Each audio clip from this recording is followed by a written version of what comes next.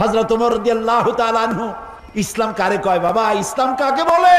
রোমক সম্রাট তার গোয়েন্দা বিভাগের লোক পাঠায় দেশে দেখো তো, যেভাবে ইসলাম এক একটা দেশ দখল করতেছে, তার আদর্শ দিয়ে না জানি রোমও কবে চলে যায়।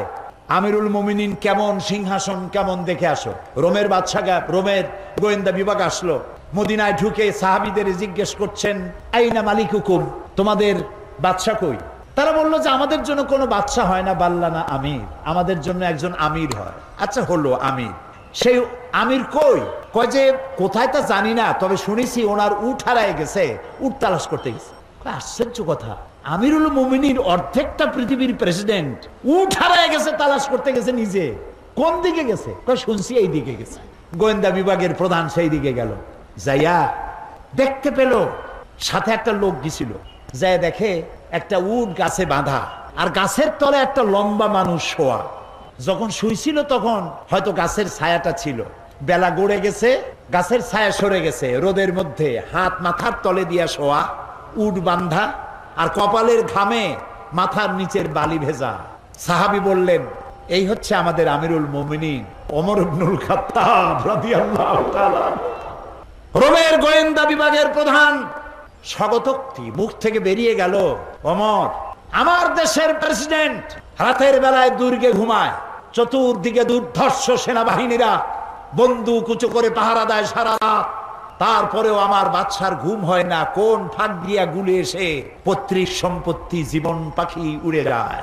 আর তুমি কোনো পাহারাদার নাই, কোনো লোক নাই, জন নাই, এই নির্জন মরুভূমিতে একা একা শুয়ে আছো।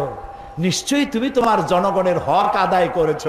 তাই তোমার পাহারাদারের দরকার নাই। যিনি তোমারে বানাইছে, সেই আল্লাহই তোমার পাহারাদার। এর নাম ইসলাম। শুধু নামাজ, রোজা, হজ জাকাতের নাম ইসলাম নয়। এর নাম ইসলাম। রুজি রোজগার করার জন্য সমস্ত নবীরা কাজ করেছেন সাহাবাই কেরাম কাজ করেছেন, ক্ষুদায় কষ্ট করেছেন, ক্ষুদার যন্ত্রণায় ছটফট করেছেন সাহাবাই কেরাম। নবী করিম আলাইহি ওয়াসাল্লাম দুয়ারে দুয়ারে খাবার পৌঁছাইছেন, নিজে কষ্ট করেছেন। প্রিয় ভাই সব রাদিয়াল্লাহু মসজিদ নববীর ভিতরে বসে দেখলেন, জহরের সময় কয়েকটা লোক বসা, আসরেও তারা, মাগরেবেও তারা, এশায়ও তারা, পরের দিন ফজরেও তারা। জিজ্ঞেস করলেন, এই বেটারা, তোমরা কারা? প্রত্যেক নামাজে এক জায়গায় দেখি, বলল যে, আমরা আল্লাহর ইবাদত করি আজগার করি। তো তোমরা খাও কি? কয় যে, আল্লাহ ভরসা করে আছি।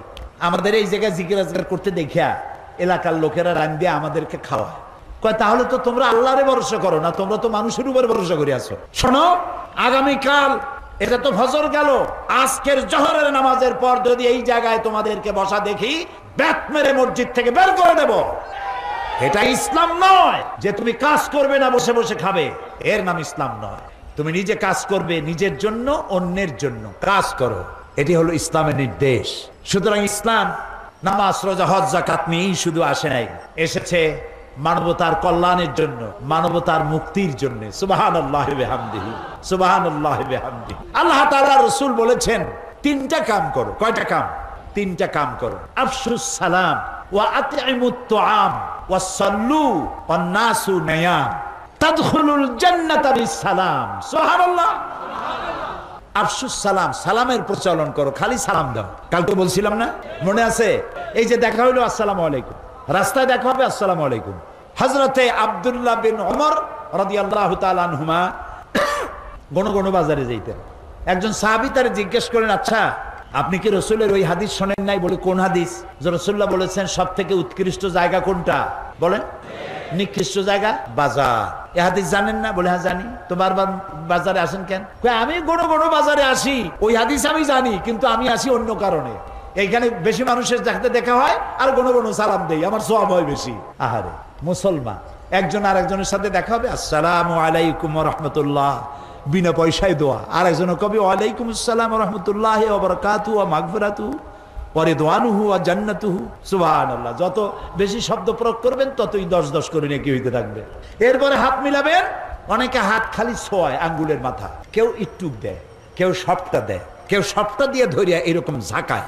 ওর চিন্তা যত সাকি তত নেকি। এটা একটা বাজে কথা। প্রিয় ভাই সব রসুল্লাহ বলছেন, সালাম দাও, বেশি করে সালাম আর মানুষকে খাইতে দাও। জাহান নামে যারা যাবে, কারণ হবে দুইটা। অনেক কারণের মতো। কারণ হবে কয়টা?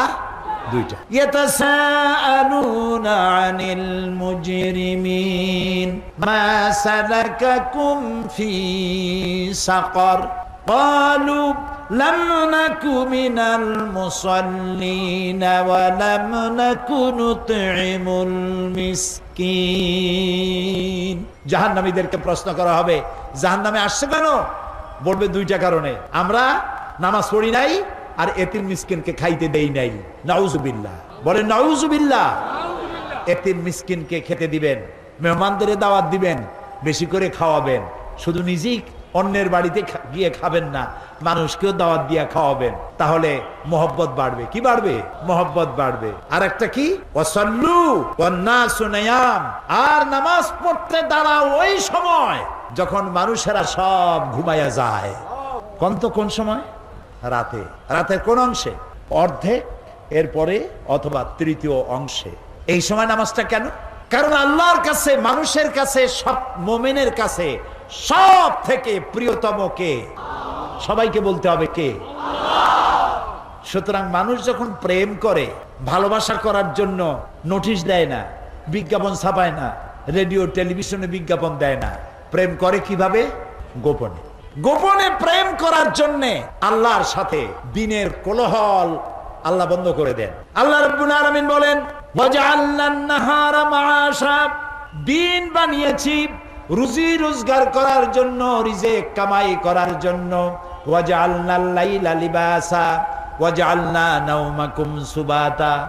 রাত বানালাম, আমি তোমাদের জন্য শান্তির বাহন করে আচ্ছাদন দিলাম। ঘুমকে বাহন করলাম। এই সুন্দর রাতে সব মানুষ ঘুমিয়ে গেছে, বান্দা। এই সময় ঘুমের থেকে জাগো, আমারে সেজদার দাও। সেজদার ভিতরে তোমার যা বলার আছে আমারে বলো। আল্লাহ রব্বুল আলামিন চতুর্থ আসমানে এসে যান, অথবা প্রথম আকাশে আসেন। হরে হামেশা দেনে কো वो तैयार है हर हमेशा देने को वो तैयार है जो न मंगे उससे वो बेजार है সব সময় দিতে প্রস্তুত আল্লাহ রব্বুল আলামিন যে চায় না আল্লাহ রব্বুল আলামিন তার প্রতি নারাজ হয়ে যায় গভীর রাত্রি সিজদার ভিতরে গিয়ে মানুষ যখন কাঁদতে থাকে আল্লাহ রব্বুল আলামিন ফেরেশতাদেরকে জিজ্ঞেস করেন, আমার ফেরেশতারা পৃথিবীতে মানুষ যখন সব ঘুমানো, আমার এই বান্দাগুলি কেন? বান্দিরা কান্দে কেন? ফেরেশতারা বলে, রব্বুল আলামিন, ওরা গোনা করেছে, তোমার কাছে মাপ চায়, জাহান্নাম থেকে মুক্তি চায়। আল্লাহ প্রশ্ন করেন, ওরা আমার জাহান্নাম দেখেছে নাকি? আমারে দেখেছে নাকি? বেশ তো দেখেছে নাকি? তারা বলবে, না, দেখে নাই। রব্বুল আলামিন বলেন, ও আমার ফেরেশতারা আমার এই বান্দাগুলি আমারে দেখে নাই, ফেরেশতা দেখে নাই, জাহান্নাম দেখে নাই, হাসর নসর কিছুই দেখে নাই। শুধু আমার কোরআনের কথা, আমার নবীর কথা বিশ্বাস করে যেভাবে তারা কানতেছে তোমরা সাক্ষী থেকে যাও। আমার এই ক্রন্দনরত বান্দাগুলিরে আমি মাফ করে দিলাম। সুতরাং নবীজির কথা মতো যারা সালামের প্রচলন করবেন, মেহমানদের খাওয়াবেন, রাতের বেলায় জেগে নামাজ আদায় করবেন, আল্লাহ রব্বুল আলামিন তাদেরকে নবীজি বলেন তাদুখুরুল জান্নাতা বিসালাম আল্লাহ তারা শান্তির সাথে তাদেরকে জান্নাতে প্রবেশ করাবেন। এই পৃথিবী হচ্ছে মানবতার কল্যাণের জন্য, মানব সভ্যতা বিকাশের জন্য, এই পৃথিবীকে সুন্দর করে সাজিয়ে গুছিয়ে রাখার জন্য আল্লাহ মুসলমানদেরকে দায়িত্ব দিয়েছেন। এটার নামই হচ্ছে ইসলাম। ইসলাম মানবতার কল্যাণ নিয়ে এসেছে, ভালোবাসা নিয়ে এসেছে, মোহব্বত নিয়ে এসেছে। ক্ষমতায় যাইয়া মন্ত্রী হবেন, এমপি হবেন। খাওয়ার চোটে এক একজনের পেট তিনটা তরমুজের সাইজ হয়ে যাবে। এই জন্য ক্ষমতায় যাওয়া নয়। কিছু লোক আছে, হায় হায়, ক্ষমতা পাইয়া এমন খাওয়া খাইছে, পেটটারে এত মোটা করছে। কোন রুমের মধ্যে ঢুকতে হলে হাত দিয়া দরজা খোলার দরকার হয় না, পেটের ধাক্কে দরজার কামড়। আছে না এমন? আনহু শিক্ষায় শিক্ষিত, কোরআনের শিক্ষায় শিক্ষিত, আমিরুল রাতে বেলায় ঘুরছেন। পুঞ্জরা খাইয়ে আছে না না খেয়ে আছে? ইসলাম কারে কয়? তিনি দেখতে পেলেন একটা বাড়ির ভিতরে একটা পুরুষ বারবার ঢোকে গিয়ে প্রশ্ন করলেন মিয়া, তুমি এই বাড়ির মধ্যে বারবার ঢোকে আর বাইরে হও কেন? তুমি কেডা? কয় যে, পথিক, আমি তো এই বাড়ির মালিক। বারবার ভেতরে বাইরে হোক কেন? বলছে, পথিক, সে চেনে নাই আমির মোমিনকে বলছে, আমার মতো বিপদে জীবনে কেউ পড়ে নাই। বলে কীরকম আমার ঘরে আমার বউ আসন্ন প্রসবা, এখনই বাচ্চা হবে।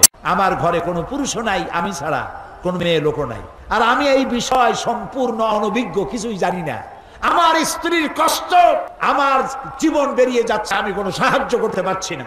হজরত অমরুদ্দিল্লাহ আনহু বলছেন, অপেক্ষা করো, দেখি আমি তোমার কোনো সাহায্য করতে পারি কিনা। গোটা পৃথিবীর, অর্ধেকটা পৃথিবীর প্রেসিডেন্ট খালিফাতুল মুসলিমিন, আমিরুল মুমিনিন দৌড় দিলেন। কিছুক্ষণ পরে একটি মেয়ে লোক নিয়ে আসলেন।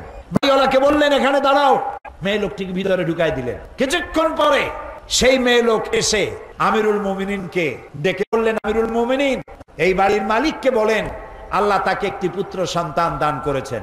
পুত্রটিও সুস্থ, তার মাও সুস্থ। বাড়িওয়ালা তো আমিরুল মুমিনীর নাম শুনিয়া পায়ের তলা থেকে মাটি গজে গেছে। হজরত ওমর আমার জন্য কষ্ট করছে, দৌড়াইছে, কি আশ্চর্য! আমার তো বেয়াদবি হয়ে গেছে। তিনি করজোড়ে ক্ষমা চাইলেন আমিরুল মুমিনীন। আল্লাহ রাস্তা আমারে মাফ করে দেন। আপনি আমারে কষ্ট দিছি। আমি আপনাকে কষ্ট দিয়েছি, আমাকে ক্ষমা করুন। আর এই যে মেয়ে লোকটারে নার্স নিয়ে আসছেন সেবিকা, কিছু টাকা আপনি তাকে দিয়ে দেবেন, এই টাকাগুলো আপনি নেন। হাজরত ওমর বলেন, ও আল্লাহর বান্দা, আমার কাছে ক্ষমা চাইও না, আমার কাছে ক্ষমা চাওয়া উল্টা হবে। কারণ তুমি আমার এলাকার ভিতরে বসবাস করো, তোমার এই কষ্টের কথা তুমি জানাবার আগে আমি নিজেই জেনে যে খেদমত দিতে পারি নাই। এজন্য কেয়ামতের দিন ওমরকে আল্লাহর দরবারে তুমি আসামি বানাইও না। আর যে মেয়ে লোকটিকে টাকা দিতে চাও, ওই মেয়ে লোকটি কোন পেশাদার নার্স নয়, সেবিকা নয়। যেই মেয়ে লোকটি দিয়ে আমি তোমার স্ত্রীর খেদমত করালাম, ওই মেয়ে লোকটি আমার স্ত্রী। এর নাম ইসলাম। এর নাম ইসলাম! শুধু নামাজ, রোজা, হজ, জাকাতের জন্য নয়, নামাজ, রোজা কম্পালসারি ডিউটি দাড়ি রাখা মুসলমানের আলামত। মেসক করা সুরমা লাগানো, লম্বা জামা গায়ে দেওয়া, এগুলি ইউনিফর্ম কিন্তু মূল স্পিরিট আসল জিনিসটা হারাই ফেলেছি, খোলস হারাই ফেলেছি, মূল জিনিস হারাইয়া খোলস ধরে আছি। হ্যাঁ পাগড়ি আমার দরকার, এটা আমার শেয়ার, আমার পাগড়ি প্রয়োজন, আমার টুপি প্রয়োজন, আমার দাড়ি প্রয়োজন, আমার লম্বা জামা প্রয়োজন, আমার তসবি প্রয়োজন, কিন্তু সব থেকে বড় প্রয়োজন ছিল মানব প্রেম।